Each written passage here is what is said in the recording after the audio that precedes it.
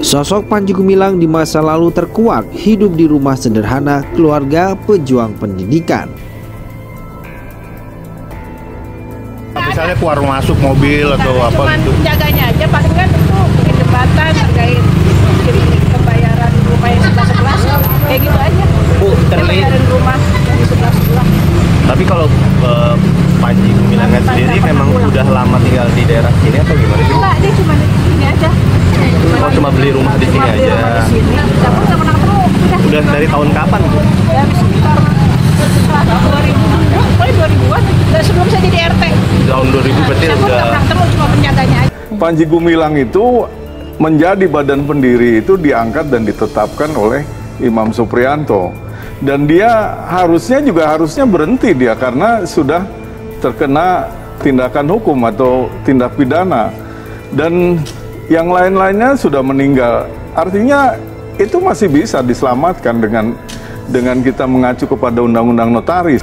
Panji Gumilang itu siapa sih? Dulu hanya sebagai kepala sekolah di madrasah alia swasta, kemudian bisnis beras. Kok bisa-bisa sekarang itu kaya raya? Agung Sidayo itu siapa sih? MIR Agung Sidayo yang rumahnya disita oleh bank kok tiba-tiba sekarang jadi kaya raya punya Jaguar dan sebagainya. Terus Imam Prawoto punya istri lebih dari satu lima orang. Jadi Itu dugaan kan- Pak Imam apa memang? Ya apa memang kaitannya memperkaya diri ini? gitu. Dia dia sebetulnya nggak sungguh-sungguh membangun pendidikan. Dia itu hanya memperkaya diri dan mencari popularitas dan nanti tujuannya politik gitu. Dia kemarin beli partai Baik. Republik, akhirnya nggak lolos pemilu. Nah, sekarang mau cari simpati Oke. dari Israel gitu. susila, ada Baik. soal keuangan, ada soal eh, kita sudah semua menjejak. Eh, misalnya kalau Pak Panji Gumilang itu di dalam temuan kami punya 254 rekening, eh, 256 rekening bank yang sekarang masih aktif. Lalu Al Zaitunya sendiri ada 30 sekian gitu. Kita semua sudah jejak itu dari eh, apa dari instrumen yang kita miliki untuk mengetahui itu dan perputarannya gitu. Uang untuk pembuatan perahu ini dari mana? Nah, Perahu saja kok ditanyakan uangnya pakai kayu, pakai paku. Dari mana uang untuk membangun Al Zaitun ini? Memang kalau cuma bertanya dari mana nggak bakal jawab, nggak bakal bisa dijawab dan nggak bakal bisa menjawab. Saya ini pekerja keras. Kasih contoh apa pekerjaan Anda yang bisa menghasilkan dan kemudian bisa membangun Oh saya tidak sendiri. Kalau sendiri itu hanya daging, tulang, darah. Anda bersama siapa? Ya bersama banyak kawan. Kawan siapa? Ya kalau jangan ditanya kawan siapa itu ya. Karena orang bercuriga lagi, ini NII di belakang Anda. Ada dana BUS yang dikeluarkan oleh negara Untuk anak-anak sekolah ini. untuk anak-anak sekolah. Bantuan operasional sekolah. Sekolah.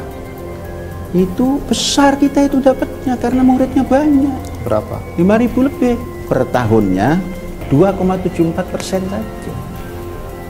Selebihnya dari Itu.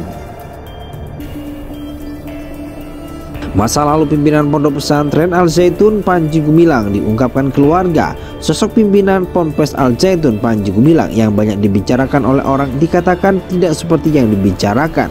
Pihak keluarga pimpinan Ponpes Al Zaitun Panji Gumilang bahkan menyebut pemberitaan selama ini banyak fitnahnya. Hal itu disampaikan adik pimpinan Ponpes Al Zaitun Panji Gumilang bernama Abdul Wahid. Banyak fitnah, banyak video yang terpotong-potong diberitakan tidak benar, disampaikan tidak benar, kata Abdul Wahid saat ditemui di kediamannya Sabtu 24 Juni 2023. Nama Panji Gumilang pimpinan Ponpes Al Zaitun di Kabupaten Indramayu kembali mencuat dengan berbagai kontroversi pernyataannya. Hal itu membuat Endang Rahmat 64 tahun kembali mengingat sosok Panji Gumilang yang dulu hanya bernama Abdus Salam.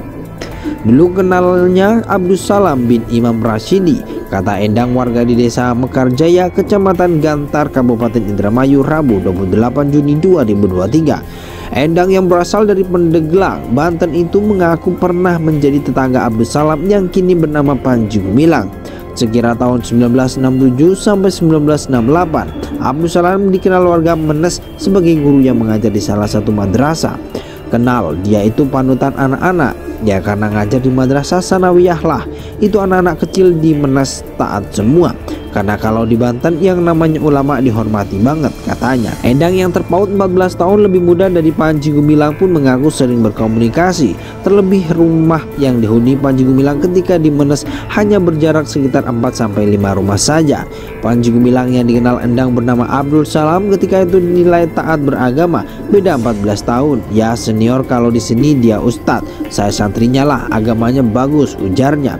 Diceritakan Endang bahwa Abdul Salam dan istrinya termasuk orang nomor satu di Menes kala itu. Dia tinggal di situ hanya karena terpaut pernikahan dengan istrinya.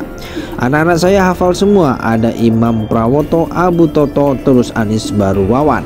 Anak yang dua masih kecil-kecil ujarnya. Bukan orang situ cuma terkait perkawinan. Saya nggak tahu pacarannya Tahu-tahu udah nikah sama orang situ. Terus termasuk orang nomor satu Nama istrinya Khotimah ungkapnya. Setelah beberapa tahun menetap di situ Nama Abdul Salam kata Endang seperti hilang di Banten. Meski sempat mendengar desas-desus tentang Abdul Salam Yang dikenal Endang Namun tak lagi bertemu dengan Abdul Salam Hingga Endang beranjak muda dan merantau ke Jakarta Hingga akhirnya tinggal di Indramayu Mengajar pencak silat Hingga akhirnya pada tahun 1981 Endang Rahmat menetap di Indramayu. Bahkan setelah itu ia pun menyaksikan pembangunan Al Zaitun. Namun ia tidak menyangka bahwa Panji Gumilang adalah orang yang dulu Endang kenal. Masa lalu pimpinan pondok pesantren Al Zaitun Panji Gumilang diungkapkan keluarga. Sosok pimpinan Ponpes Al Zaitun Panji Gumilang yang banyak dibicarakan oleh orang dikatakan tidak seperti yang dibicarakan. Pihak keluarga pimpinan Ponpes Al Zaitun Panji Gumilang bahkan menyebut pemberitaan selama ini banyak fitnah fitnahnya. Hal itu disampaikan adik pimpinan Ponpes Al Zaitun Panji Gumilang bernama Abdul Wahid. Banyak fitnah, banyak video yang terpotong-potong diberitakan tidak benar, disampaikan tidak benar, kata Abdul Wahid saat ditemui di kediamannya Sabtu 24 Juni 2023. Nama Panji Gumilang pimpinan Ponpes Al Zaitun di Kabupaten Indramayu kembali mencuat dengan berbagai kontroversi pernyataannya. Hal itu membuat Endang Rahmat 64 tahun kembali mengingat sosok Panji Gumilang yang dulu hanya bernama Abdus Salam. Dulu kenalnya Abdus Salam bin Imam Rashidi, kata Endang warga di desa Mekarjaya, kecamatan Gantar, Kabupaten Indramayu, Rabu 28 Juni 2023. Endang yang berasal dari Pendeglang, Banten itu mengaku pernah menjadi tetangga Abdul Salam yang kini bernama Panji Gumilang. Sekira tahun 1967 sampai 1968, Abdul Salam dikenal warga Menes sebagai guru yang mengajar di salah satu madrasah.